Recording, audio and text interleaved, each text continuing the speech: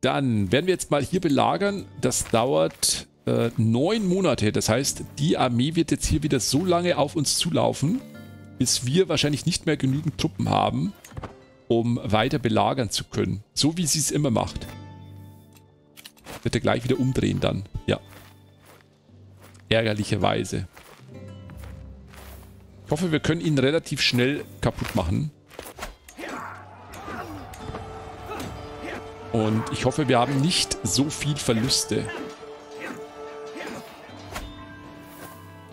500 ist noch ganz okay. Wir brauchen für die Belagerung äh, 275. Ja, das sollte sein. Ähm, meine Höflinge verheirate ich eigentlich nie. Also ich brauche wirklich irgendjemanden mal, aber verheirate ich grundsätzlich nie. Ich will da irgendwie ein bisschen so Zufälligkeit noch mit drin haben. Damit ich, äh, ich will mir nicht immer die guten Höflinge ranziehen, weil irgendwie dann der Spaß verloren geht, wenn du dich über, über Höflinge ärgerst, die es vielleicht nicht so, vielleicht nicht so gute Eigenschaften haben. So, können wir hier jemanden... C Gold. Naja, wir warten mal kurz. Habe ich seine Einheit jetzt komplett vernichtet? Ah, okay. Also, Isle of Man wird erweitert mit der Grafschaft von Leinster. Das freut mich sehr. Wir könnten natürlich auch gleich hier, was ist hier oben los? Wir könnten natürlich gleich hier dann auch noch Düfet angreifen, aber der hat ein bisschen mehr Truppen. Also wir werden das hier etwas stabilisieren dann und dann geht es hier aber ab hier. Ich fühle mich zurückversetzt wie im Tutorial, wo du jetzt quasi Irland komplett dann eroberst. Die Feinheiten der Diplomatie. Mein Mündel Sigtrud hat eine Lektion im Umgang mit Vasallen erhalten. Es war notwendigerweise ein recht vielschichtiger Lerninhalt, doch vielleicht überstieg er etwas die Möglichkeiten von ihm. Äh, geduldig könnte er werden. Ja, ich werde definitiv hier keine Anspannung für dieses Mündel von meinem Lehnsherrn in Kauf nehmen. Das könnte aber sowas von schnell knicken. Natürlich wird er geduldig. Gesellig, geduldig, nachdenklich. Das ist richtig ein herzensguter Junge ist das hier. Meine Güte. Der bestausgebildetste Junge. So, unser Lehnsherr hier oben verliert mal wieder. Wer hätte das gedacht? Es wird Zeit zum Abdanken. Jetzt hat er bald nur noch so viel Tuppen wie wir. So, wir sind jetzt schon im Minus beim Prestige. Äh, wir werden in den Krieg gerufen. Und äh, um was geht's hier? Seerland. Wir werden einen kurzen Abstecher dann machen natürlich, aber erstmal gucken. Also, es geht gegen Jarl Eirike Baxexon von Schleswig und Jarl Vierik von Jüland. Und es geht um Häuptlingstum von Vorbasse. Ja. Da als Zugereister weiß natürlich nicht, um was es hier geht. Um das hier. Ja, Stelle ich mir aber jetzt gar nicht mal so einfach vor, oder? 600, doch 600, das schafft er auch alleine. Also wir stimmen natürlich zu. Wir nehmen natürlich teil, aber nehmen auch nicht teil. Wenn er versteht, was ich meine. Oh, ich sehe gerade. Ach, ist das hier geteilt? Moment mal eben. Der ist hier schon am Kämpfen, ne? Der Krieg läuft ja offenbar schon längere Zeit. Seit fünf Monaten schon. Ah, okay. Deswegen stehen hier die ganzen Truppen schon herum. So, Kleinvieh macht auch Mist, Mist, Mist eine Viehherde. Wir können uns eine ganz normale Viehherde für Entwicklung holen. Wir können aber auch die 80% nutzen für eine große Viehherde. Oder wir holen uns einfach 50 Gold in Anbetracht dessen, dass für unsere, für unsere Stammesschaft hier die Entwicklung eigentlich egal ist, holen wir uns natürlich das Geld. 50 Gold haben und 50 Gold nicht haben, ne, muss man erstmal gucken. So, jetzt stehen hier immer noch 45 Einheiten herum. 5 Champions und 40 leichte Infanterie. Er wartet auf die friedliche Übergabe von Leinster an uns. So soll es sein. Und wir trauern um unseren Pionier. Jetzt greifst du nochmal an. Echt jetzt? Jetzt, wo die Belagerung in 14 Tagen vorbei ist.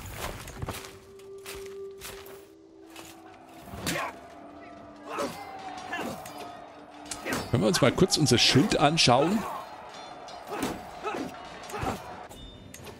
Guckt euch mal unser schönes Schild an. Leider überdeckt von ganz vielen Anzeigen. Man sieht es so nicht. Aber es ist ein schönes Schild.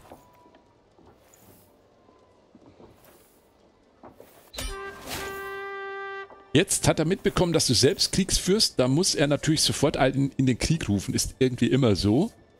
Ist das so? Habe ich gar nicht so das Gefühl. Weil eigentlich wäre es ja sinnvoller, wenn wir nicht im Krieg wären dann, ne? So, können wir denn jetzt hier... Wir haben noch jemanden gefangen genommen. Aber ich glaube, da fehlt es an Geld jetzt, oder? Ja, doch, 50 Gold kann er sich selbst freikaufen und dann wieder abgesetzt. okay, er kauft sich selbst frei, wird dann abgesetzt. Hier ist aktuell... Oh, der hat kein Geld mehr, oder was? Der hat eigentlich 200 Gold und will seine Ehefrau nicht freikaufen? Tatsächlich. oh Mann. Jetzt hätte er wieder genug Geld, aber er will die Ehefrau nicht freikaufen. So. Der Krieg ist vorbei, alle jubeln, selbst Leinster ist begeistert, dass wir hier Fuß reingesetzt haben. Wir bekommen ein bisschen Prestige. Oder auch nicht. 75 Prestige.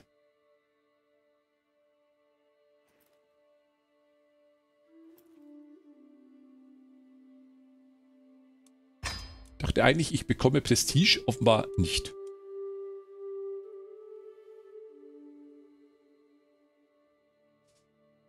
Das Frau im Kerker ist auch eine wirk wirkungsvolle Verhütungsmethode. Ist aber gemein. Ist aber sehr gemein wenn die Ehefrau hier so leiden muss bei uns, wobei bei ihr, bei uns geht es ihr äh, gut. Wir haben ein äh, tolles Gefängnis und ähm, sie hat hier quasi ein wunderschönes Leben. Und ja, wenn er will, dann kann er sie auslösen. Ach Mist, jetzt ist hier vorne Buffet von uns gegangen. Sehr enttäuschend. Na gut. Das heißt aber jetzt hier ist wahrscheinlich wieder ein bisschen Stinke ja, Gemeindekontrolle ist 0. Volksbeinung minus 19. Hier ist ja Kraut und Rüben ist hier. Das heißt, wir schicken unseren Kontrolleur mal kurz zu kontrollieren hier rüber. Dann wird sich der hier um die Kontrolle kümmern. Und ansonsten gehört uns hier eine neue Region. Inklusive einem Stamm. Inklusive einem Handelsaußenposten und zwei Kirchen. Das ist fantastisch. Das ist richtig gut. Das heißt, wir haben jetzt hier... Ach, die werden gar nicht aufgelistet. Äh, ich dachte, dass die Kirchenvasallen hier auch aufgelistet werden. Der Bersi ist hier zwar drin, aber er wird hier nicht angezeigt. Na gut. Okay, Sieht doch schon mal ganz ordentlich aus, oder? So für, wie lange haben wir jetzt gespielt? Drei Stunden? Für drei Stunden bei dem sch äh, schlimmen Start hier oben gar nicht mal so schlecht. Wir bekommen ein bisschen mehr Truppen jetzt dazu, denke ich mal. Äh, Prestige demnächst auch wieder, sobald wir unsere Truppen aufgefüllt haben. Dauert noch ein bisschen. Und ich würde mal sagen, zur Feier des Tages spricht jetzt gar nichts dagegen, dass wir zum einen... Oh, wir müssen auf alle Fälle auch hier was bauen noch. Wir müssen auch hier noch was bauen. Wir haben jetzt... Ah, jetzt habe ich wieder kein Prestige. Wir haben jetzt so günstige Preise, ne? Ich würde ja auch gerne einen Handelsaußenposten bauen. Für mehr Geld. Auf der anderen Seite 150 mehr Aufgebote ist auch nicht schlecht. Ah, Wäre schon auch ganz gut. Und Prestige noch dazu? Ah, schwierig. Aber was wir machen ist, wir werden hier was bauen, aber wir werden auch noch ein Festmahl veranstalten. Und ich wollte eigentlich auch auf Pilgerreise gehen, aber das geht im Krieg nicht. Ähm, dieser Krieg hier drüben wird zugunsten unseres Verbündeten ausgehen. Tippe ich jetzt einfach mal, weil er hier die Überzahl hat. Auf der anderen Seite, wenn die sich zusammenschließen, vielleicht mit ein bisschen Glück, könnte er auch Pech haben. So, Leviathan es ziemt sich als Häuptling Zeit auf See zu verbringen, mit der salzigen Brise im Gesicht, feinen Planken unter den Füßen. Ja, wir sind mal wieder unterwegs auf einer kleinen Schiffsfahrt. Der Gesichtsausdruck ist ja fantastisch. Ähm, die größte Bestie der Tiefen, ein Wal, wurde gesichtet. Holt die Harpunen. 8% Chance, dass wir 100 Gold bekommen. 92%, dass wir äh, Prestige verlieren. Ja. 8% sind leider nicht 100%. Wir könnten so jetzt 50 Gold bekommen oder 75 Prestige. Ich hätte mal gesagt, Gold ist jetzt schon ganz gut da. Wir holen uns jetzt lieber mal Prestigepunkte. Wunderbares Event, das wir jetzt hier bekommen haben. Sieht seekrank aus, ja. Das liegt daran, dass er so abgenommen hat jetzt hier. Hätte er noch ein bisschen mehr Fülle, ne? Wäre das kein Problem. Boah, guck dir das an hier. 500 hat er jetzt nur noch. Alter, ist das, also, dass der, der war immer so stark, habe ich das Gefühl. Neben der Durchgänge hier oben hat der Iva irgendwie dominiert. Und jetzt verliert er alles, jetzt wo wir als Vasall hier mit dabei sind. Also, wir feiern ein kleines Fest zu Ehren von uns selbst. Ich hoffe, da hat niemand was dagegen. 25 Gold können wir uns leisten. Ähm, und vielleicht mit ein bisschen Glück bekommen wir sogar noch etwas Prestige mit dazu. Ein wunderbares Fest. Mal gucken, wer da überhaupt jetzt mit dabei ist in diesem Fest. Ich fasse es nicht. Trotz meiner Einladungen und Vorbereitungen taucht kein einziger Gast bei meinem Festmahl auf. Sei es drum, werde ich das Essen und den Wein eben alleine genießen und der Widerhall meiner Schütte in der ganzen, äh, in der großen Halle reicht mir völlig als Gesellschaft. Naja, vielleicht sind wir auch ein bisschen introvertiert. Da ist man ja auch ganz gerne alleine. Von daher, guckt euch mal die festlich gedeckten Tische hier hinten im Hintergrund an. Da können wir uns jetzt quasi komplett durchmampfen. Ich hätte halt gehofft, na, ich meine, wir haben keine Vasallen, ist ja klar, dass da niemand kommt. Aber es hat halt auch geheißen, für ein Lehnsherr wäre es ganz gut. Stand das denn hier? Ein Herrscher wird seinen Lehnsherrn und seinen Vasallen zu einem Festmahl einladen. Ja, also offenbar ist der Lehnsherr ist nicht gekommen, Vasallen haben wir keine. Ich hätte halt gehofft, dass vielleicht dann irgendwie noch die Ratsmitglieder kommen. Na gut. Wir erhalten 20 Anspannung.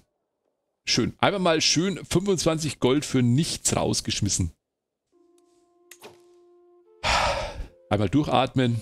Ist okay. Ist okay. So, äh, wir warten mal, dass die Aufgebote sich wieder füllen.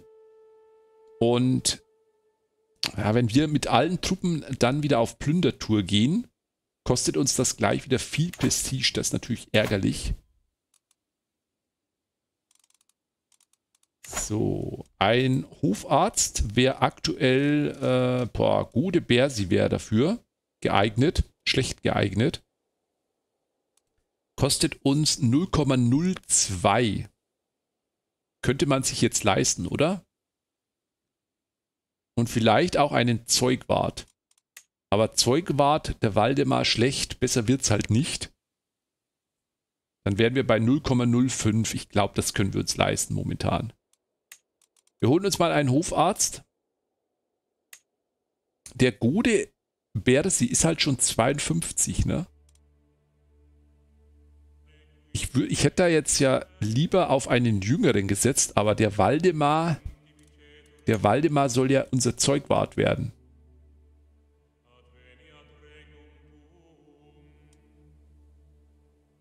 Kostet mich das jetzt auch Prestige? Nein.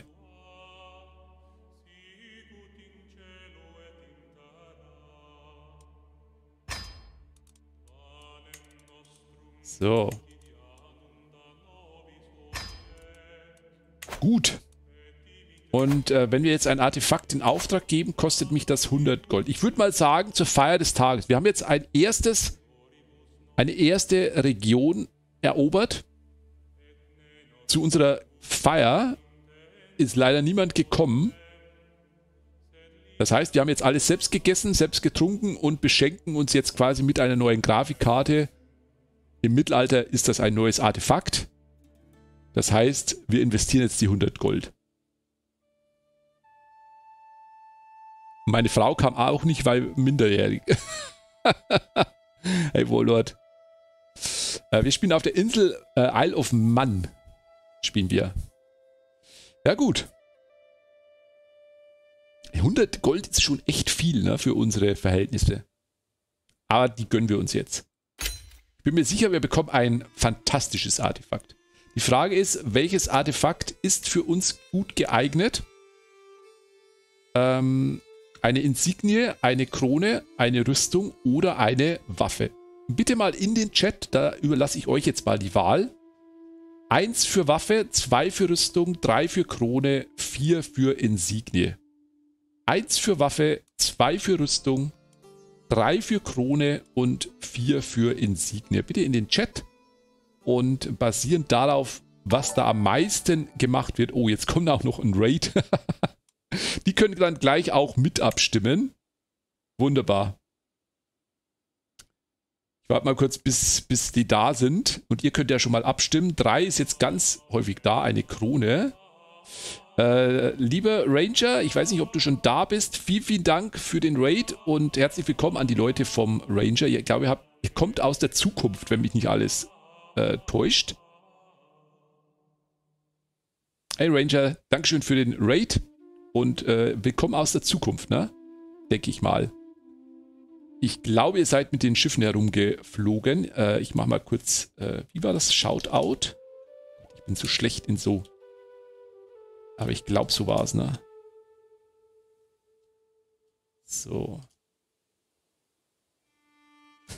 Ja, hat, hat richtig gut funktioniert. Ah, okay.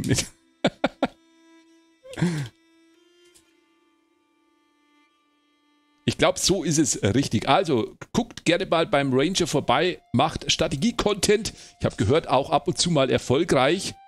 Und äh, spielt auch ganz gerne Paradox-Spiele und jetzt hat er äh, Cosmotier gespielt, genau. In der Zukunft quasi und äh, jetzt seid ihr in der Vergangenheit hier mit Crusader Kings gelandet. Wir spielen hier den äh, kleinen Häuptling Gorm von Mönn, haben hier gestartet und äh, der hat sich zum Ziel gesetzt, dass er gerne Kaiser werden möchte. Ob er das schafft, weiß noch niemand. Wir feiern gerade den ersten Erfolg hier mit äh, der ersten Eroberung hier unten schwer erkauft, teuer erkauft, aber erfolgreich. Und äh, jetzt haben wir gedacht, aufgrund dessen feiern wir ein kleines Fest. Leider ist niemand zu unserem Fest gekommen. Das hat ein bisschen Anspannung verursacht und äh, wir wollten uns daraufhin jetzt was Gutes tun und ein Artefakt schmieden. Und gerade eben, als der Raid reinkam, habe ich noch nachgefragt, was wir uns für ein Artefakt schmieden lassen wollen. Mach's gut, Ranger. Dankeschön nochmal. Und schönes Wochenende. Und äh, da war es jetzt so, eins für Waffe, zwei für Rüstung, drei für Krone und vier für Insignie. Und ich glaube gesehen zu haben, dass die drei ganz häufig vorkam, oder? Könnt gerne nochmal ein bisschen reinschreiben in den Chat. Aber die 3 war schon ziemlich weit vorne, wenn ich das richtig gesehen habe. Jetzt kommt natürlich die 4 als erstes. 3 äh, nochmal. Okay, 4. Ich hätte das wahrscheinlich über eine richtige Abstimmung machen sollen. Weil jetzt muss ich das so nach Gefühl beurteilen. Und... Aber da sind jetzt auch wieder einige Dreier dabei. Ne? Also wir machen 3, komm. Wir machen äh, ein... Wir sind ja kein Krieger. Wir sind ja weit davon entfernt, ein äh, Krieger zu sein. Ne? Das heißt, eine Waffe macht jetzt eher weniger Sinn. Eine Rüstung auch weniger Sinn, aber was Sinn macht, ist natürlich eine Krone auf unserem erlesenen Haupt mit der wunderbaren Frisur.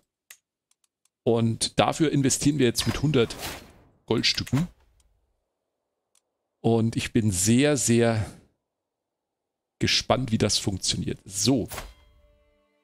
Ob wir was Gutes rausbekommen. Wir haben die Kühneswith, die jetzt hier das offenbar fertigt. Sie ist auf alle Fälle fleißig, gesellig. Naja, wir gucken mal, ob sie uns was Schönes fabriziert. Wir haben weiterhin, was ist hier los? Werden wir geplündert? Nee. Äh, wir haben weiterhin unseren Bündniskrieg hier drüben noch. Der hin und her wiegt, wenn ich das richtig sehe. Einmal belagert hier der, dann der andere wieder, dann der wieder woanders. Also sollte er uns jetzt hier nochmal anrufen, dass wir doch mitmachen sollen, dann werden wir mal kurz Truppen rüberschicken. Ansonsten kann er sich erstmal alleine darum kümmern. So, meine Begünstigte, die Zyneswiff, tritt mit gedankenvoller Miene an mich heran. Habt ihr jemanden, der euch besonders nahe steht? Äh, okay, wir haben nur den Allvater oder niemanden. okay. Äh, da wir nicht unbedingt viel Frömmigkeit brauchen, gehen wir auf die Prestigepunkte. Wir brauchen keine Widmung. Es muss einfach nur eine tolle Krone sein die funkelt und alles andere ist egal.